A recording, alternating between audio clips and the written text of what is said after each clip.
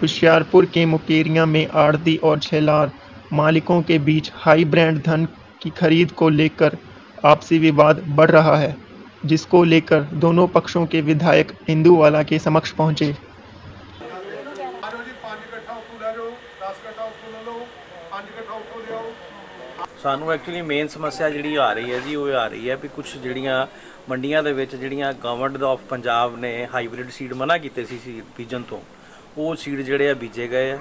ਉਹਨਾਂ ਦੀ ਪ੍ਰੋਬਲਮ ਹੈਗੀ ਕਿ ਉਹਨਾਂ ਦੀ ਯੀਲਡ ਜਿਹੜੀ ਆ ਉਹ ਘੱਟ ਆ, ਅਸੀਂ ਟ੍ਰਾਇਲ ਕਰਕੇ ਦੇਖਿਆ ਉਹਨਾਂ ਦੀ ਯੀਲਡ ਘੱਟ ਹੈ। ਔਰ ਜਿਹੜੀ ਸਾਡੇ ਵੱਲੋਂ ਇਹ ਗੱਲ ਰਿਪਰੈਜ਼ੈਂਟ ਕੀਤੀ ਗਈ ਹੈ ਐਮਐਲਏ ਸਾਹਿਬ ਨੂੰ, ਅਸੀਂ ਇਹੀ ਗੱਲ ਰਿਕੁਐਸਟ ਕਰਨ ਆਏ ਸੀ। ਇਹਨਾਂ ਨੂੰ ਵੀ ਇਹ ਥੋੜਾ ਜਿਹਾ ਇਸ ਤਰ੍ਹਾਂ ਦਾ ਇਹਦਾ ਹੱਲ ਕੱਢਿਆ ਜਾਵੇ।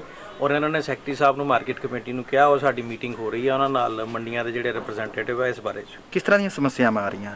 ਖਾਸ ਕਰਕੇ ਜਦੋਂ ਸੀਡ ਹੁੰਦਾ ਤੁਹਾਡੇ ਕੋਲ, ਤਾਂ ਉਹਦੇ ਵਿੱਚ ਕਿਸ ਤਰ੍ਹਾਂ ਦੀ ਸਮੱਸਿਆ ਹੁੰਦੀ? ਉਹਦੇ ਵਿੱਚ ਇਹ ਜੀ, ਪਹਿਲੀ ਗੱਲ ਤੇ ਉਹਨਾਂ ਦੇ ਵਿੱਚ ਡੈਮੇਜ ਡਿਸਕਲਰ ਜ਼ਿਆਦਾ ਆ।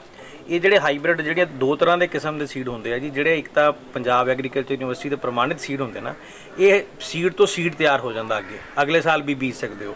ਜਿਹੜਾ ਹਾਈਬ੍ਰਿਡ ਸੀਡ ਆ, ਉਹ ਇੱਕ ਵਾਰੀ ਸੀਡ ਹੁੰਦਾ, ਮਤਲਬ ਅਗਲੀ ਵਾਰੀ ਦੁਬਾਰਾ ਸੀਡ ਲੈਣਾ ਪੈਂਦਾ। ਔਰ ਇਹ ਜਿਹੜਾ ਸੀਡ ਹੈਗਾ, ਪੰਜਾਬ ਗਵਰਨਮੈਂਟ ਨੇ ਰეკਮੈਂਡ ਨਹੀਂ ਕੀਤਾ।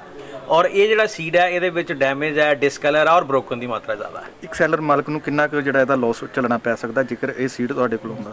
ਇਹ ਮੇਰਾ ਖਿਆਲ ਹੈ ਜੀ ਵੀ ਜੇ ਇੱਕ ਇੱਕ ਸ਼ੈਲਰ ਤੇ ਇਹ ਇਸ ਤਰ੍ਹਾਂ ਦਾ ਮਾਲ ਲੱਗੇਗਾ ਮਤਲਬ ਜੇ ਆਪਾਂ ਮੰਨ ਕੇ ਚੱਲੀਏ ਵੀ ਜਿਸ ਤਰ੍ਹਾਂ ਦੀ ਸਾਡੇ ਏਰੀਆ ਦੇ ਵਿੱਚ ਅਸੀਂ ਬਿਜਾਈ ਦੀ ਗੱਲ ਸੁਣੀ ਹੈ ਜਾਂ ਅਸੀਂ ਮੀਟਿੰਗ ਕੀਤੀ ਸੀ ਐਸਡੀਐਮ ਸਾਹਿਬ ਵੀ ਸੀ ਏਡੀਓ ਸਾਹਿਬ ਵੀ ਸੀ ਉਹਨਾਂ ਦੇ ਮੁਤਾਬਕ ਇਹ 50 ਤੋਂ 60% ਦੇ ਕਰੀਬ ਹੈਗਾ ਤੇ ਉਹਦੇ ਹਿਸਾਬ ਨਾਲ ਸਾਡਾ ਘੱਟੋ ਘੱਟ ਵੀ ਜੀ ਮੇਰਾ ਹਿਸਾਬ ਹੈ ਵੀ 50 50 ਲੱਖ ਰੁਪਏ ਦਾ ਨੁਕਸਾਨ ਹੋਣਾ ਚਾਹੀਦਾ। ਮੰਗ ਪੱਤਰ ਦਿੱਤਾ ਕਿਉਂਕਿ ਜਿਹੜੀਆਂ ਸਾਡੀਆਂ ਹਾਈਬ੍ਰਿਡ ਵੈਰਾਈਟੀਆਂ ਸਵਾ 134 ਤੇ ਸਵਾ 27 ਜਿਹੜੀ ਉਹ ਨਹੀਂ ਸੀ ਚੁੱਕਦੇ, ਕਿਉਂਕਿ ਪਹਿਲਾਂ ਸ਼ੈਲਰ ਵਾਲੇ ਗਿੱਲੇ ਦਾ ਬਹੁਤ ਰਫੜ ਪਾਉਂਦੇ ਹੁੰਦੇ ਸੀ। ਜਿਹੜੀਆਂ ਕੁਝ ਵੈਰਾਈਟੀਆਂ ਸੁੱਕਦੀਆਂ ਹੀ ਨਹੀਂ, ਸਾਡਾ ਜਿਹੜਾ ਨੀਮ ਪਹਾੜੀ ਇਲਾਕਾ ਹੈ ਹਾਜੀਪੁਰ ਮਕੇਰੀਆਂ ਦੀ ਬੈਲਟ ਦਸੂਏ ਦੀ ਬੈਲਟ ਇੱਥੇ 20 25 ਅਕਤੂਬਰ ਤੋਂ ਬਾਅਦ ਧੁੱਪ ਦੇ ਵਿੱਚ ਜਾਨ ਨਹੀਂ ਹੁੰਦੀ, ਮਾਲ ਸੁੱਕਦਾ ਨਹੀਂ। ਫਿਰ ਉਹ ਜਦੋਂ ਅਸੀਂ ਗਿੱਲਾ ਦਿੰਦੇ ਸੀ, ਲੋਕਾਂ ਨੂੰ ਬਹੁਤ ਜ਼ਿਆਦਾ ਵੱਡੇ ਕੱਟ ਦੇਣੇ ਪੈਂਦੇ ਸੀ, ਜਿਵੇਂ ਜ਼ਿਮੀਦਾਰਾਂ ਨੂੰ। ਚਾਹੇ ਅੱਜ ਸ਼ੈਲਰ ਵਾਲੇ ਕਹਿੰਦੇ ਆ ਵੀ ਅਸੀਂ ਕੱਟ ਨਹੀਂ ਕਹਿੰਦੇ 100% ਇਹ ਗਰੰਟੀ ਹੈ, ਜ਼ਿਮੀਦਾਰ ਵੀ ਕਰ ਸਕਦੇ। ਇਹਨਾਂ ਨੇ ਹੀ ਦਿੱਤੇ। ਕਈ ਵਾਰ ਤਾਂ ਅਸੀਂ ਜ਼ਿਮੀਦਾਰ ਨਾਲ ਲੈ ਜਾਂਦੇ ਸੀ ਬਿਠਾ ਕੇ। ਦੱਸਦੇ ਨਹੀਂ ਸੀ ਵੀ ਇਹ ਜ਼ਿਮੀਂਦਾਰ ਹੈ ਉਹ ਦੱਸਦੇ ਸੀ ਵੀ ਮੈਂ ਇੰਨਾ ਕੱਟ ਲੈਣਾ। ਲੇਕਿਨ ਉਹ ਹੁਣ ਜ਼ਿਆਦਾ ਲੋਕਾਂ ਨੇ ਸਵਾ ਸਤਾਈ ਟਾਈਮ ਨਾਲ ਸੁੱਕ ਜਾਂਦੀ ਟਾਈਮ ਨਾਲ ਪੱਕ ਜਾਂਦੀ ਹੈ। ਝਾੜ ਠੀਕ ਹੈ ਜ਼ਿਮੀਂਦਾਰ ਗਰੀਬ ਦਾ। ਤੇ ਇਸ ਕਰਕੇ ਮੇਰੀ ਇਹੀ ਬੇਨਤੀ ਹੈ ਵੀ ਜ਼ਿਮੀਦਾਰ ਹੈ, ਬਾਦਸ਼ਾਹ ਹੈ, ਪਰ ਉਹਨੂੰ ਰੋਲ ਕੇ ਰੱਖ ਦਿੱਤਾ।